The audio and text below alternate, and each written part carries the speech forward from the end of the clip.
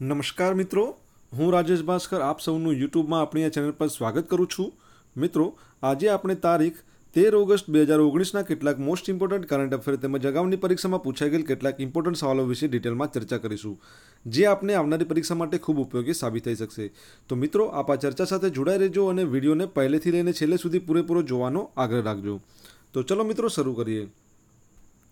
સૌપ્રથમ જોઈએ અગાઉની પરીક્ષામાં પૂછાઈ ગયેલ પ્રશ્નો. આ પ્રશ્નોના જવાબો વિડીયોમાં લાસ્ટમાં ઓપ્શન સાથે આપેલા છે. તમારે શું કરવાનું છે? વિડીયોને પોઝ કરવાનો છે અને આ જે પ્રશ્ન આપે છે, તેના જવાબો તમને જો આવડતા હોય તો તમારે કમેન્ટ બોક્સમાં લખીને જણાવવાના છે. ત્યારબાદ વિડીયોના લાસ્ટમાં, જ્યારે હું તમને આ બધા જ પ્રશ્નોના જવાબો જણાવું, ત્યારે તમારે ચેક કરવાનું છે કે તમારા જે જવાબો છે તે કેટલા સાચા છે. તે વિડીયોને પોઝ કરો અને તમે તમારા જવાબ લખો નીચે કમેન્ટ બોક્સમાં અને હું ચાલુ કરું છું પ્રથમ પ્રશ્ન. પ્રથમ પ્રશ્ન છે તાજેતરમાં બાયોફ્યુઅલ પોલિસી લાગુ કરવાવાળું ભારતનું પ્રથમ રાજ્ય કયું બન્યું છે? તો તાજેતરમાં જ બાયોફ્યુઅલ પોલિસી લાગુ કરવાવાળું ભારતનું પ્રથમ રાજ્ય બન્યું છે. તેનું નામ છે રાજસ્થાન. એટલે કે ઓપ્શન બી છે તે સાચો જવાબ છે. તો મિત્રો, રાજસ્થાન છે તે ભારતમાં પ્રથમ એવું રાજ્ય બન્યું છે જેણે બાયોફ્યુઅલ પોલિસી લાગુ કરી છે. હવે આ જે પોલિસી છે તેના અંડરમાં શું હશે? કે તેના જે ઉપયોગમાં જે બાયોફ્યુઅલ હોય છે તેના ઉપયોગ માટે જે સામાન્ય લોકો છે તેને જાગૃત કરવામાં આવશે. તેમજ જે બાયોફ્યુઅલના જે બીજો હોય છે ને, જે તેલીય બીજો હોય છે, તેના ઉત્પાદનને વધારવામાં તેમજ તેનાથી જે ફાયદા થાય છે તેના વિશે જાણકારી કરવામાં આવશે. તેમજ તેની માર્કેટિંગ કઈ રીતે વધારી શકાય તેના વિશે ચર્ચા કરવામાં આવશે. તો અહીંયા વાત થઈ છે આપણે બાયોફ્યુઅલની અને રાજસ્થાનની. તો મિત્રો, રાજસ્થાનની વાત થઈ છે. તો રાજસ્થાનની વાત થાય તો તમારે સૌપ્રથમ એક બાબત યાદ રાખવાની કે ક્ષેત્રફળની દ્રષ્ટિએ સૌથી મોટું જે રાજ્ય હોય ભારતનું, તો તે છે રાજસ્થાન. સૌથી નાનું કયું છે? ગોવા છે. વસ્તીની દ્રષ્ટિએ આપણે ગણીએ કે સૌથી મોટું, તો કયું કહેવાય છે? ઉત્તર પ્રદેશ. બીજી એક બાબત મને યાદ આવે છે કે તાજેતરમાં જ ઓગસ્ટ મહિનામાં, અત્યારે જે ઓગસ્ટ મહિનો ચાલે છે ને, તો અત્યારે ઓગસ્ટ મહિનામાં જ આઠમી એશિયા યુવા હેન્ડબોલ ચેમ્પિયનશિપ યોજાવાની છે રાજસ્થાનમાં. જેની આપણે છેલ્લા આઈ થિંક ત્રણેક મહિનાથી ચર્ચા કરતા આવ્યા છીએ. બીજી બાબત છે કે વિશ્વની સૌથી મોટી ફિલ્મ લાઇબ્રેરી છે ને તે રાજસ્થાનનું કેપિટલ છે જયપુર, જેને પિંક સિટી પણ કહેવાય છે. ત્યાં બનવાની છે. તે યાદ રાખજો. આપણે વાત કરી કે રાજસ્થાનનું કેપિટલ જયપુર અને તેને પિંક સિટી કહેવાય છે, તો રાજસ્થાનના બીજા પણ બે સિટી છે જેને અલગ અલગ નામથી ઓળખવામાં આવે છે. એક છે જેસલમેર, તે છે ગોલ્ડન સિટી અને બીજું છે જોધપુર, તે છે સન સિટી. ત્રીજી એક બાબત છે જે મને યાદ આવે છે કે યુનેસ્કો વર્લ્ડ હેરિટેજ સાઇટમાં આ જે જયપુર છે તેને સામેલ કરવામાં આવ્યું છે. યાદ રાખજો મિત્રો, આવનારી પરીક્ષા માટે આ એક મોસ્ટ ઇમ્પોર્ટન્ટ સવાલ છે. ત્યારબાદ ત્રણ એવા વ્યક્તિઓ છે રાજસ્થાનના જે પરીક્ષાની દ્રષ્ટિએ ઇમ્પોર્ટન્ટ છે, પરીક્ષામાં પૂછાઈ શકે છે. પ્રથમ ગણીશું આપણે ઓમ બિરલા. તો ઓમ બિરલા કોણ છે? આપણી હાલની જે લોકસભા છે તેના સ્પીકર છે, તેઓ રાજસ્થાનના કોટા જે છે ત્યાંના સંસદ છે. બીજા એક છે તે છે સુમન રાવ.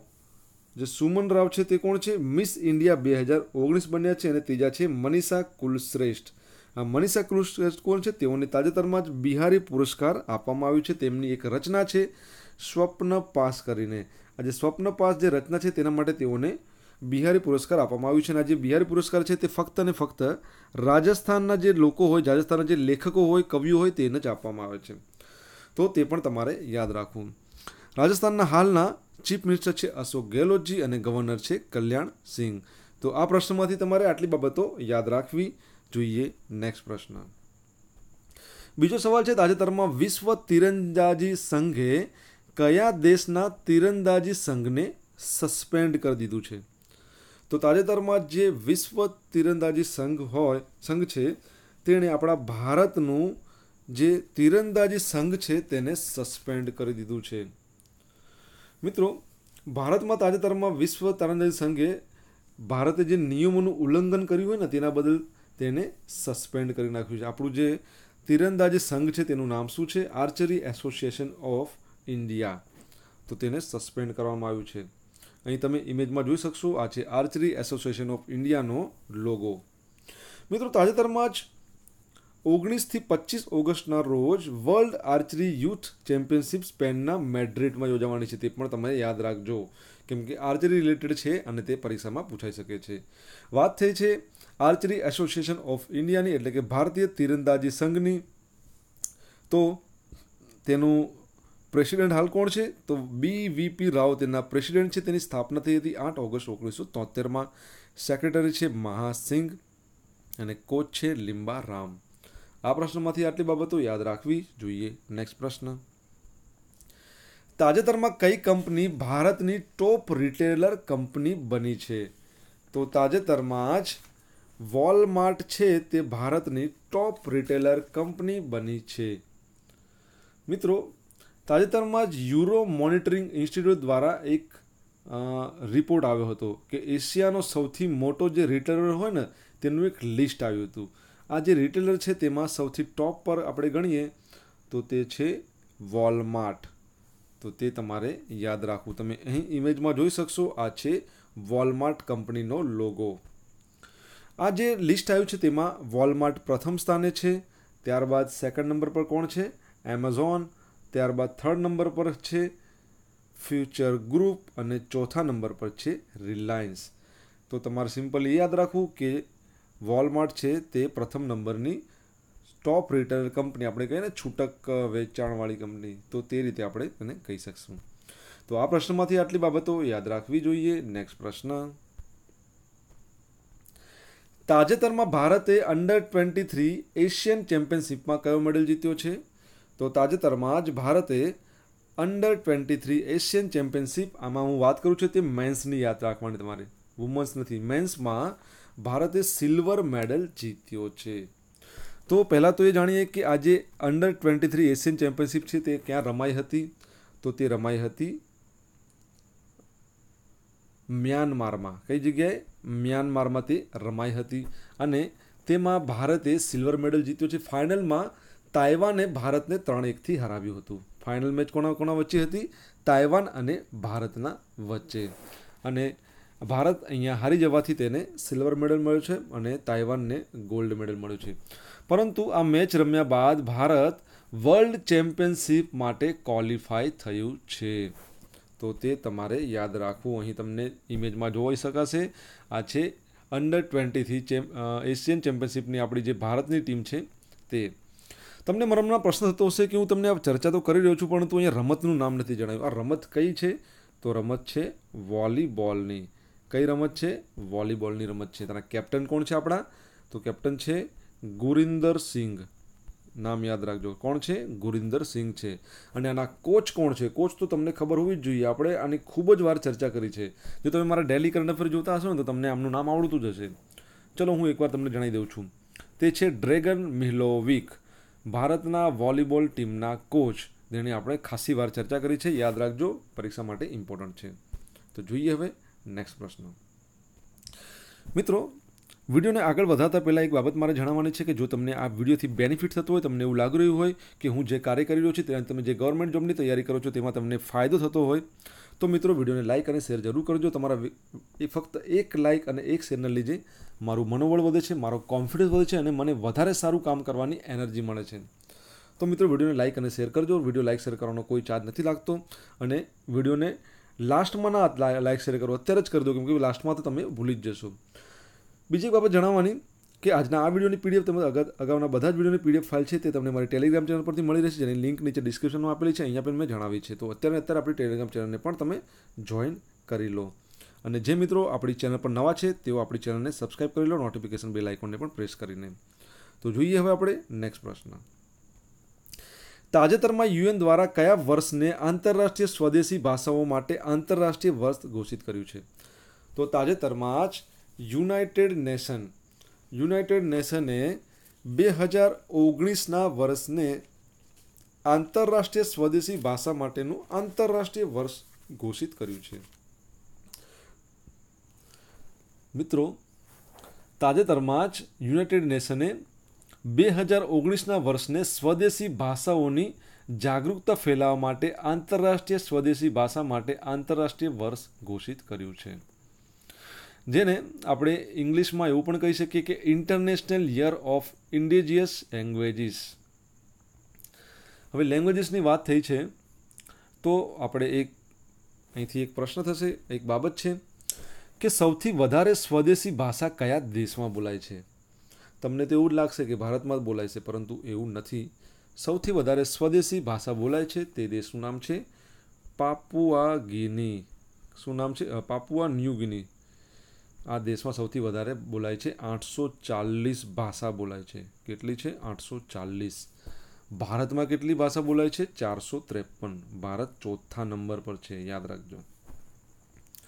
તો તે તમારે યાદ રાખવું. હવે બીજી એક વસ્તુ છે જનરલ નોલેજની કે દુનિયામાં સૌથી વધારે કઈ ભાષા બોલાય છે? તો દુનિયામાં સૌથી વધારે બોલાતી ભાષા છે તે છે ચીની. તો તે પણ તમારે યાદ રાખવું. વાત થઈ છે યુનાઇટેડ નેશનની તો યુનાઇટેડ નેશનનો લોગો તમે જોઈ શકો છો. જેનું હેડક્વાર્ટર છે ન્યુયોર્કમાં તેની સ્થાપના થઈ હતી ચોવીસ ઓક્ટોબર ઓગણીસો પિસ્તાલીસમાં હવે તેની જે ઓફિશિયલ લેંગ્વેજ છે ને તે પરીક્ષામાં પૂછાઈ શકે છે પરીક્ષાની દ્રષ્ટિએ ઇમ્પોર્ટન્ટ છે. તો તમે એકવાર એ યાદ રાખી લેજો. તેમાં કઈ કઈ છે? Arabic, Chinese, English, French, Russian, Spanish આમાં આપણી હિન્દી નથી. તો એ તમે યાદ રાખજો. યુનાઇટેડ નેશનમાં જે એસેમ્બલી હોય છે યુનાઇટેડ નેશનની, તેમાં હિન્દીમાં ભાષણ આપવાવાળા આપણા પ્રથમ વ્યક્તિ કોણ હતા? તો તે હતા અટલ બિહારી વાજપેયી. તે પણ તમારે યાદ રાખવું. યુએસના સેક્રેટરી જનરલ છે એન્ટાનિયો ગ્યુટર્સ. આ પણ એક ઇમ્પોર્ટન્ટ નામ છે પરીક્ષાની દ્રષ્ટિએ. તો આ પ્રશ્નમાંથી આટલી બાબતો યાદ રાખવી જોઈએ. નેક્સ્ટ પ્રશ્ન. તાજેતરમાં વિશ્વ આદિવાસી દિવસ પર લેધર મિશન કોના દ્વારા લોન્ચ કરવામાં આવ્યું છે? તો તાજેતરમાં જ વિશ્વ આદિવાસી દિવસ દરમિયાન લેધર મિશન છે તે કેવીઆઈસી દ્વારા લોન્ચ કરવામાં આવ્યું છે. મિત્રો, તમને ખ્યાલ જ હશે કે તાજેતરમાં જ વિશ્વ આદિવાસી દિવસ મનાવવામાં આવ્યો હતો, કયા ક્યારે મનાવવામાં આવ્યો હતો? બે દિવસ પહેલાં જ ચર્ચા થઈ હતી. નવ ઓગસ્ટના રોજ. તો નવ ઓગસ્ટના રોજ વિશ્વ આદિવાસી દિવસ મનાવવામાં આવ્યો હતો ત્યારે કેવીઆઈસી તેના દ્વારા લેધર મિશન લોન્ચ કરવામાં આવ્યું હતું. હવે તમને કેવીઆઈસીમાં મગજમાં થતું હશે કે આનું કે આનો ફૂલ ફોર્મ શું છે. તો કેવીઆઈસીનું ફૂલ ફોર્મ છે khadi and village industries commission. જેને આપણે ગુજરાતીમાં કહી શકીએ અથવા હિન્દીમાં કહી શકીએ ખાદી ઓર ગ્રામો ગ્રામોદ્યોગ આયોગ. તો તેની સ્થાપના ક્યારે થઈ હતી? ઓગણીસો છપ્પનમાં હવે આ મિશન શું છે? તો આ મિશનમાં એવું થશે આ જે લેધર મિશન કહીએ ને, ચામડાનું મિશન, તે શું છે? તો કેવીએસી જે ચામડાનું મિશન કે લેધર મિશન છે, તેમાં તેઓ શું કરશે કે જે ચામડાના કારીગરો હોય, તેઓને તેઓ લેધર કિટ પ્રોવાઈડ કરશે. અને હાલમાં કેવાય, કેવીઆઈસીએ રાજસ્થાનનો સિરોઈ જિલ્લો છે ને, ત્યાં પચાસ ચામડાની બેગ હોય ને ચામડાની તેની કિટ એક પ્રોવાઈડ કરવામાં આવી છે. તો તે પણ તમારે યાદ રાખવાનું. અને ત્રણસો પચાસ મધમાખીઓના જે બોક્સ આવે છે ને તે પણ ત્યાં પ્રોવાઈડ કરવામાં આવ્યા છે. અહીં મેં તમને કીધું તે પ્રમાણે કેવીઆઈસીનું ફૂલ ફોર્મ જણાવી દીધું. તેનું સ્થાપના થઈ તો ઓગણીસો છપ્પનમાં અને તેના અધ્યક્ષ કોણ છે? વિનય કુમાર સક્સેના. યાદ રાખવું જોઈએ. નેક્સ્ટ પ્રશ્ન. ન્યૂઝ ફટાફટમાં પ્રથમ પ્રશ્ન જોઈએ તાજેતરમાં કૃષિ આશીર્વાદ યોજનાનું યોજના કયા રાજ્ય દ્વારા શરૂ કરવામાં આવી છે? તો તાજેતરમાં જ કૃષિ આદિવાસી યોજના છે, આશીર્વાદ સોરી કૃષિ આદિ આશીર્વાદ યોજના છે તે ઝારખંડ રાજ્ય દ્વારા શરૂ કરવામાં આવી છે. હવે ઝારખંડમાં આપણા જે ઉપરાષ્ટ્રપતિ છે, વેંકૈયા નાયડુ, તેમના દ્વારા આનો શુભારંભ કરવામાં આવ્યો છે. હવે આમાં શું રહે છે? આ જે યોજના છે તેમાં જે ખેડૂતો જોડે એક એકરથી ઓછી જમીન હશે ને તેમને પાંચ હજાર રૂપિયાનું આર્થિક સહાય કરવામાં આવશે અને જેની પાસે પાંચ હેક્ટર તેની પાસે પાંચ એકરથી પાંચ એકર સુધીની જમીન છે, તેઓને બે હપ્તામાં પચીસ હજારની આર્થિક સહાયતા કરવામાં આવશે. તો તે પણ તમારે યાદ રાખવું. પહેલામાં કેવું છે? પાંચ હજાર મંથલી તેઓને કરવામાં આવશે. બીજો સવાલ છે, તાજેતરમાં જાહેર થયેલ લિસનિંગ, લર્નિંગ, લીડિંગ. આ જે પુસ્તક છે, તે પુસ્તક કોના વિશે છે? આપણા ઉપરાષ્ટ્રપતિ વેંકૈયા નાયડુ માટે. તો મિત્રો, આપણા ઉપરાષ્ટ્રપતિ જે એમ વેંકૈયા નાયડુ છે ને, તેમણે તેમના ઉપરાષ્ટ્રપતિ પદ ઉપર બે વર્ષ પૂરા કર્યા છે. અને તેમના પર એક પુસ્તક આજે રિલીઝ કરવામાં આવ્યું છે તેનું નામ છે લિસનિંગ લર્નિંગ એન્ડ લીડિંગ તો તે તમારે યાદ રાખવું. અને તે કોણે લોન્ચ કર્યું છે? આપણા ગૃહમંત્રી અમિત શાહજીએ લોન્ચ કર્યું છે. મિત્રો, ગઈકાલે જ આપણે એક વાત કરી હતી, એક પુસ્તક વિશેની. રિસર્જન ઇન્ડિયા તો તે પુસ્તક હતું, તે બુક હતું, તે લોન્ચ થયું હતું તેના લેખક કોણ હતા? તો તે હતા બિમલ જાલાન આપણા પૂર્વ આરબીઆઈના આવર ગવર્નર. તો તે પણ તમારે યાદ રાખવું.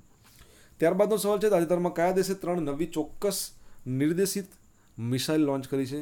તો ઈરાને. ઈરાને તાજેતરમાં જ air to air missile launch કરી છે.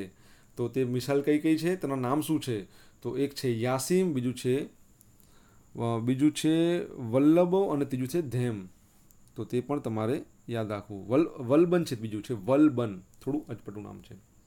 ઈરાનની વાત થઈ છે તો ઈરાનનું કેપિટલ છે તેહરાન, તેની કરન્સી છે રિયાલ અને તેના હાલના પ્રેસિડેન્ટ છે હસન રૂહાની. ત્યારબાદનો સવાલ છે તાજેતરમાં હુનાન ઇન્ટરનેશનલ ટુર્નામેન્ટ બે હજાર ઓગણીસ કોણે જીતી છે? તો સૂર્ય શેખર ગાંગુલીજીએ આ જીતી છે. અને આ શું છે? કઈ રમત છે? તો ચેસની ટુર્નામેન્ટ છે જે સૂર્ય શેખર ગાંગુલીએ જીતી લીધી છે.